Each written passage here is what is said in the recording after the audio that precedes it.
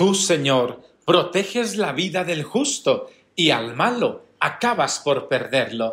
Te pido, Señor, que por favor me tengas misericordia y paciencia. Quiero convertirme, pero necesito más tiempo. Aleluya. Bienvenidos sean todos ustedes a esta mi parroquia digital. Yo soy el Padre Sergio y quiero compartirte con enorme gozo y entusiasmo las lecturas de la Santa Misa de el día de hoy, domingo 30 de julio. Además te recuerdo, hoy ofrezco mi Santa Eucaristía y todas mis oraciones por tu familia. Vamos a darle gracias a Dios hoy, último día del mes, por la familia que tenemos. Ciertamente no es la familia perfecta, pero es tu familia y necesitas aprender a vivir con mucho agradecimiento. Amén. Ahora sí, querido hermano y hermana, pues vamos a por comenzar. En el nombre del Padre, del Hijo y del Espíritu Santo. Amén. Primera lectura del libro de los Reyes. En aquellos días, el Señor se le apareció al rey Salomón en sueños y le dijo, Salomón, pídeme lo que quieras, ya que yo te lo daré. Salomón le respondió, Señor, tú trataste con misericordia a tu siervo David, mi padre, porque se portó contigo con lealtad, con justicia y rectitud de corazón. Más aún, también ahora lo sigues tratando con misericordia, porque has hecho que un hijo suyo lo suceda en el trono. Si tú quisiste, Señor y Dios mío, que yo, tu siervo, sucediera en el trono a mi padre David, pero yo no soy más que un muchacho y no sé cómo actuar. Soy tu siervo y me encuentro perdido en medio de este pueblo tuyo tan numeroso que es imposible contarlo. Por eso te pido que me concedas sabiduría de corazón para que sepa gobernar a tu pueblo y distinguir entre el bien y el mal. Pues sin ella, ¿quién será capaz de gobernar a este pueblo tuyo tan grande? Al Señor le agradó que Salomón le hubiera pedido sabiduría y le dijo, por haberme pedido esto y no una larga vida, ni riquezas, ni la muerte de tus enemigos, sino sabiduría para gobernar, yo te concedo lo que me has pedido. Te doy un corazón sabio y prudente, como no lo ha habido antes, ni lo habrá después de ti.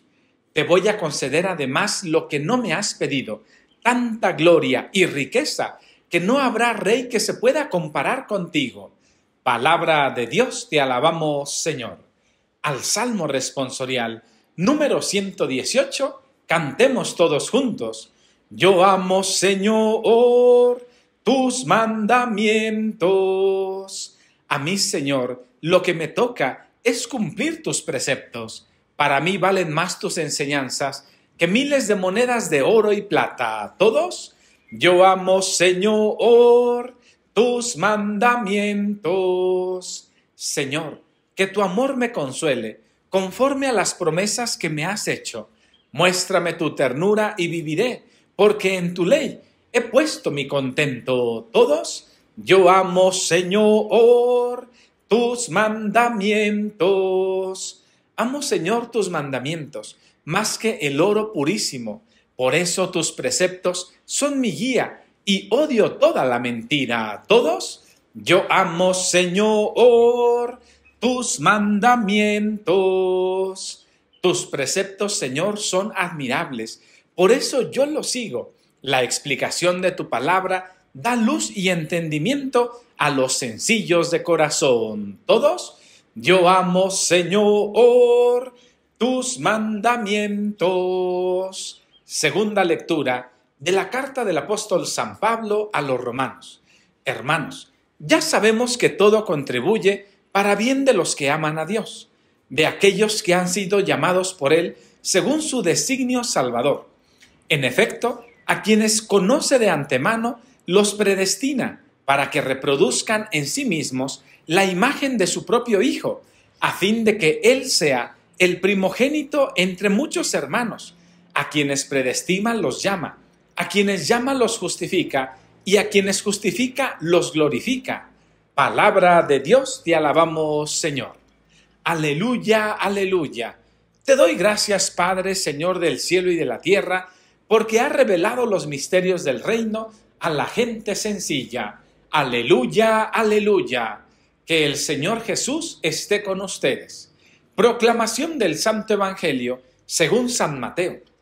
En aquel tiempo Jesús dijo a la multitud, el reino de los cielos se parece a un tesoro escondido en un campo. El que lo encuentra lo vuelve a esconder y lleno de alegría va y vende cuanto tiene y compra aquel campo.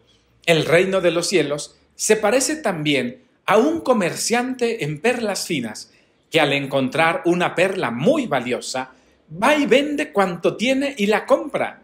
También se parece el reino de los cielos a la red que los pescadores echan en el mar y recoge toda clase de peces. Cuando se llena la red, los pescadores la sacan a la playa y se sientan a escoger los pescados. Ponen los buenos en canastos y tiran los malos.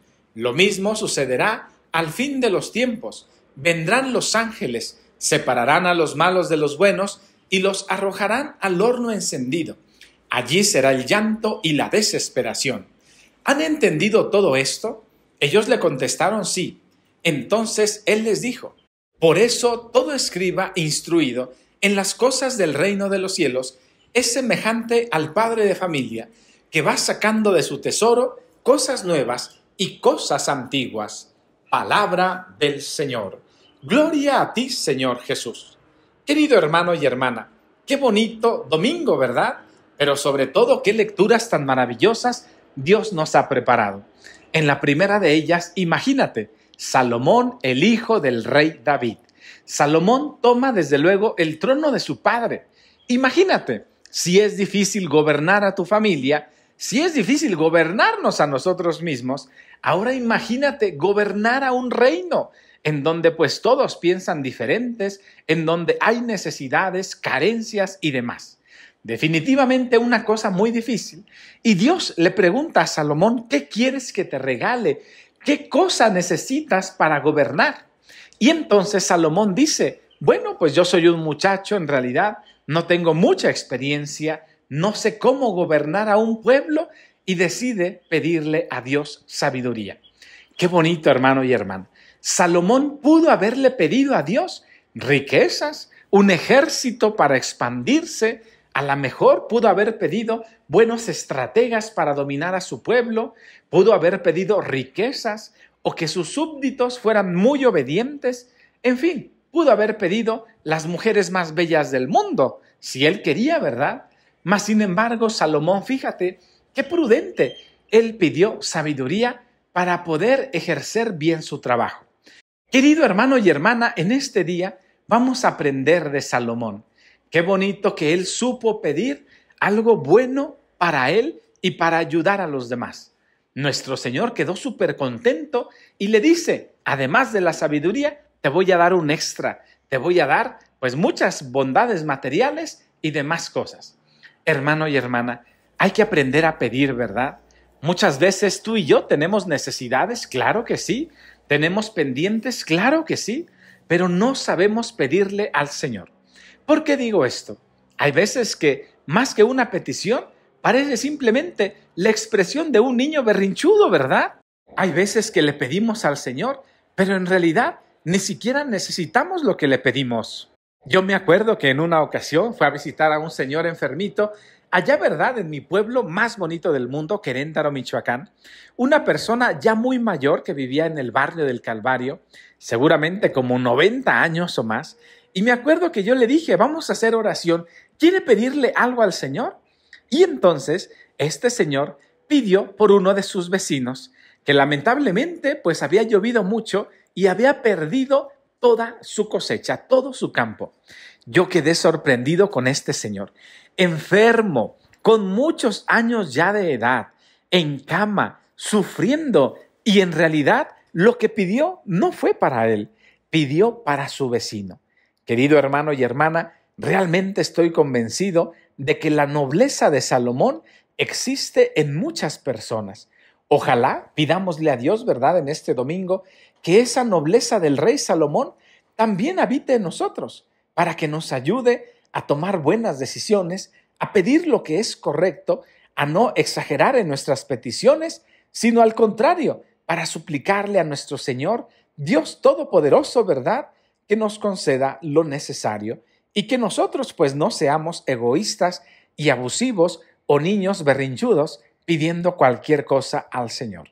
Ánimo querido hermano y hermana, deseo que esta reflexión te sirva mucho, ¿verdad?, para pensar qué es lo que le puedes pedir al Señor. Ahora sí, permíteme darte la bendición, que el Señor Jesús esté contigo y que la bendición de Dios Todopoderoso, del Padre, del Hijo y del Espíritu Santo, descienda y permanezca siempre contigo, con tu familia y en el mundo mundial. Yo soy el Padre Sergio y esta, esta es mi parroquia digital. Que el Señor te bendizca. Te mando un abrazo totote y te recuerdo, ¿verdad? Hoy, mañana y siempre, que la vida de la mano de Cristo Jesús es súper fantástica. Amén. Querido hermano y hermana, gracias de todo corazón por haberme acompañado en este video. Gracias, que Dios te bendiga muchísimo y me despido recordándote algo muy importante. Amémonos de corazón, no de labios ni de oídos. Amémonos de corazón, no de labios ni de oídos. Ese es el recordatorio que quería darte en esta bellísima canción. Gracias de todo corazón de nuevo, te mando un super abrazo y recuerda, amémonos de corazón, no de labios ni de oídos. Dios te bendiga.